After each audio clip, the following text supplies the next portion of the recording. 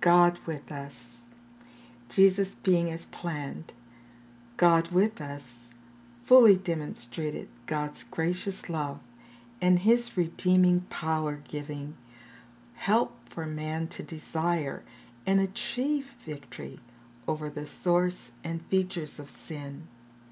By abiding in the Lord Jesus and him abiding in us is the way the Lord has given for us to fully overcome through him earth's malady.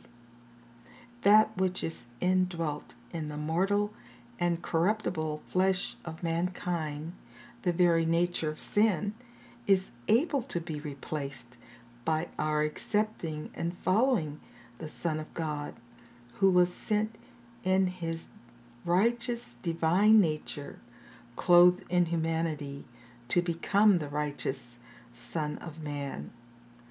The calling for us in Christ Jesus is to desire to come out of our spiritual Egypt.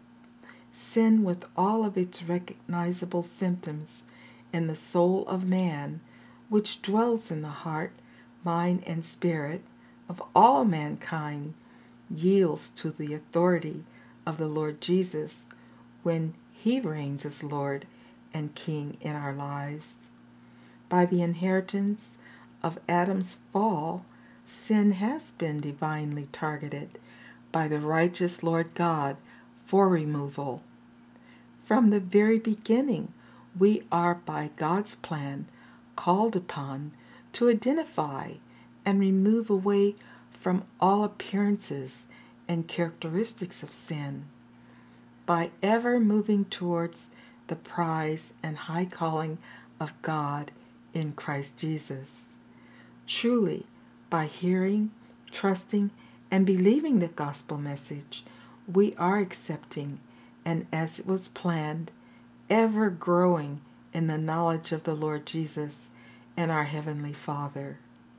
Accepting the Lord Jesus, who was sent by the Heavenly Father for us, leads us to accept the only way to the eternal place the Lord has prepared for those of us who obediently abide, living and growing in victory by Him. It is truly a blessing to accept the Lord Jesus and find in Him life giving pleasure and lasting delight by hearing the Father, by Jesus ever saying to us, For victory over our carnal, sinful nature, here am I. I find it to our advantage to grow in knowledge of our Heavenly Father and Lord Jesus. It is indeed a pleasure to recognize it was from the beginning planned for us to be fruitful and have the humble image and righteous likeness of our gracious, righteous Lord God.